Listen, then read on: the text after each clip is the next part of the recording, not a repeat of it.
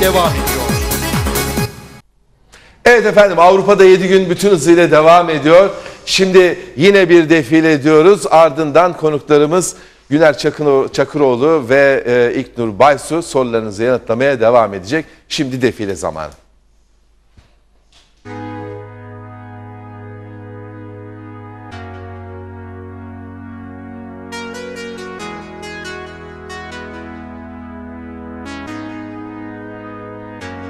Been so long, long that I haven't seen your face. I'm trying to be strong, strong, but the strength I have is washing away. It won't long, long before I get you by my side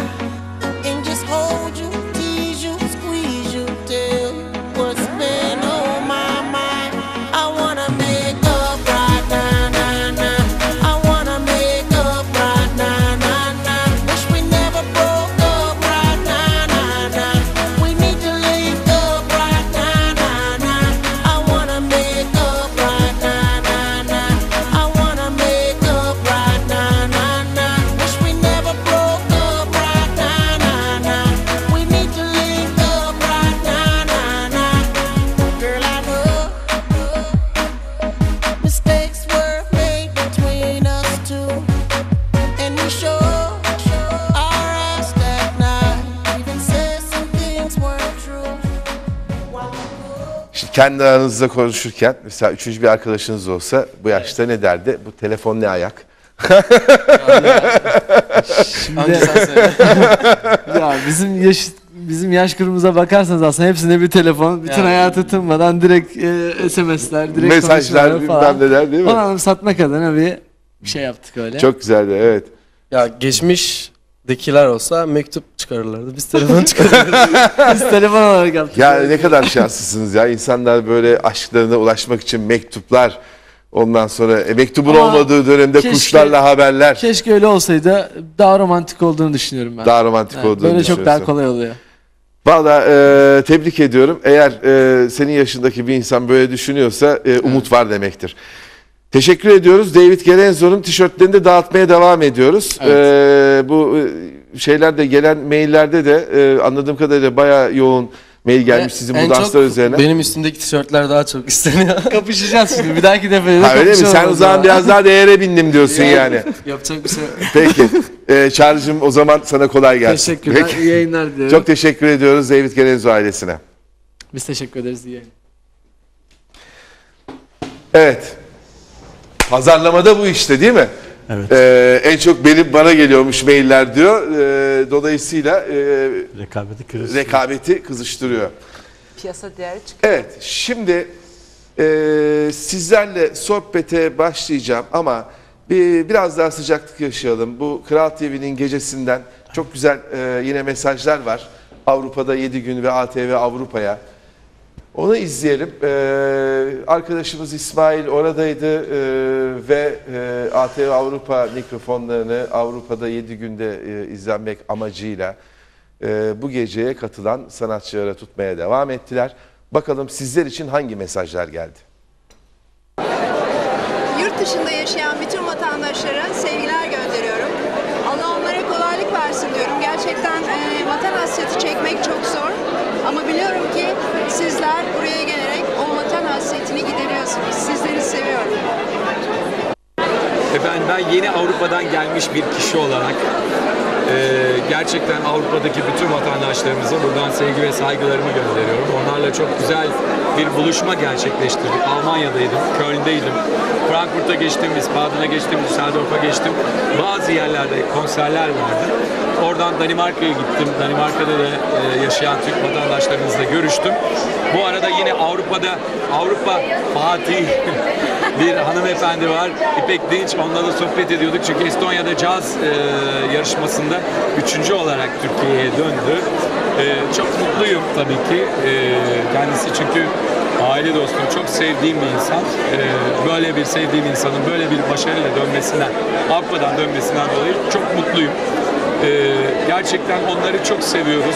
Sık sık da bul- buluşmak istiyoruz o Avrupalı vatandaşlarımızla. e, sizin kanalınızda ve Fatih Güllapoğlu'nun çok sevdiğimiz Fatih abinin e, haftada Avrupa'da 7 gün değil mi? Haftada 7 gün e, yanılmıyorsam programında da bir nebze e, çorbada tuzumuz olsun istedik. Ben de katıldım. Çok keyifli bir program. ATV Avrupa çalışanlarına ve Avrupa'da yaşayan tüm sevgili e, vatandaşlarımıza buradan sevgi ve saygılarımı gönderiyorum. İpekçim sen de bir şey söyler misin efendim? Ee, ben de şöyle söyleyebilirim. Estonya'da girdiğim yarışmada üçüncü oldum ama bundan daha güzel olanı oradaki hem ee, konsolosluktan ve orada yaşayan Türklerden çok büyük destek aldık. Bu çok güzel bir şeydi yani. Tabii çok fazla insanın bundan haberi olmayabiliyor ama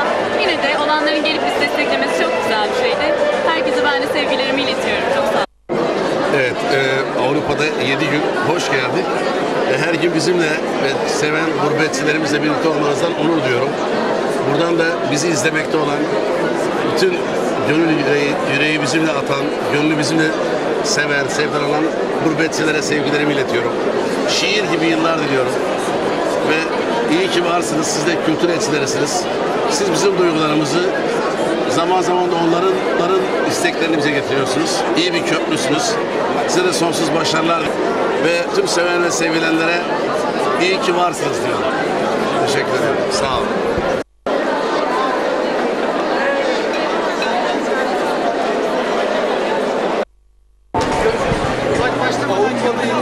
Avrupa'da, yaşayan gurbetçi vatandaşlarımıza mesaj verebilir misiniz? Hepsini çok seviyorum. Orada çok akrabam var zaten. Aileme de sevgilerimi gönderiyorum. Zaten konserlerde sık sık görüşürüz. Kendinize iyi bakın. Evet efendim, e, bütün bu e, iyi duygularını dile getiren e, sanatçılarımıza çok teşekkür ediyoruz. Bu arada İpek Dinç'i de tebrik ediyoruz Estonya'daki başarısından dolayı. Estonya'daki Türkler dedi. Yani e, artık her tarafta, Evet, zaten evet, her evet. taraf dedik giderek de yayılıyor bu nüfusumuz. Bu da güzel bir şey. Madem globalleşme var, çok da istenerek globalleşmeye girilmedi ama e, bu On- oysa... onlar isterse biz de Ben böyle düşünüyorum yapıyoruz. aslında globalizmi zaten Türkler başlatmıştı. Evet. Yani bundan 50 sene önce zaten Almanya'ya gelerek oradan başlatmışlardı diye düşünüyorum. Şimdi gelelim e, önemli konuya. Vatandaşlarımız Güler Çakıroğlu tatile gidiyorlar. Evet. E, genelde 6 hafta kullanıyorlar. Bazıları 3'er hafta bölüyor Evet. vesaire. Ama posta kutuları önemli. Evet. Başlarına iş gelebilir. Ne yapmaları gerekiyor ve ni- ne gibi bir e, tehlikesi var posta kutusuna bakmamanın. Şimdi bu konuda e, da buradayken söylemek istedim. Çünkü biz bu şufalar bize geldiği zaman hep bakıyoruz. izin sezonlarına denk gelmiş bir tarihte şufaya girmiş oluyorlar. Bunun da nedeni yani zaten e, sen avukatımız da bu konuda bana e, doğru olduğunu e, söyleyeceğine inanıyorum. Almanya'da bir yasada bir boşluk var. Yani veya da öyle diyelim. Ben öyle diyorum benim açımdan. Size gelen bir mektuba 14 gün içinde cevap vermediğiniz zaman manutlar geliyor. 14 gün içinde e, cevap yazmanız lazım. Widerspruch bölümünü işaretleyip geri göndermeniz gerekiyor. Göndermediğiniz zaman 14 gün sonra o olay kesinleşmiş oluyor. Oradaki yazılan bir davaysa, herhangi bir borçsa, herhangi bir kimseyle bir ilişkiniz yoksa bile gelmişse onu kabul etmiş oluyorsunuz ve ondan dolayı yani ödemediğinizden dolayı şufaya düşmüş oluyorsunuz. Belki onu biraz açıklayayım. Şimdi e, bu e, Güner Bey'in e, söylediği ihtar man beşahit. Yani bu mahkemeden gelmesi gerekiyor. Herhangi bir mektup tabii yetmiyor. Yani mektup yazdığın zaman Almanya'da e, bu man girişler e, eyalet eyalet belirlenmiştir. Örneğin e, Baden-Württemberg eyaletinde Stuttgart'tadır. Yani mahkemeden geliyor bu yazı. E, üstünde de man beşahit yazıyor. Ve burada size iki hafta yani birisi herkes e, böyle bir talepnamede bulunabiliyor ve mahkeme bunu kontrol etmiyor. Tehlike olan bu. Yani ben hiç sevmediğim komşumu kızdırmak istiyorsam e, Güner Bey dediği zaman biliyorum ayın birinde e, 6 haftalık Türkiye gidiyor. O zaman havadan bir 10 bin euroluk bir man beşahit Yapabilir, yollarım. evet. Ondan sonra buna gidiyor 14 gün içinde Güner Bey dediği e, e, göre man beşahite itiraz edip widerspruch yapıp yollamasan iki hafta içinde ikinci bir ihtar geliyor. Türkiye'de de var icra e, e, talebi deniliyor. Vollstreckungsbescheid diye bir yazı geliyor. Ona da yani ikinci bir şans veriyor sana tekrar. Buna da e, iki hafta içinde ikincisine de itiraz etmesen O zaman bu kesinleşiyor ve bir icra, bir kazanılmış mahkeme kararı gibi oluyor. Ve buna karşı e, yok tatil dedim itiraz et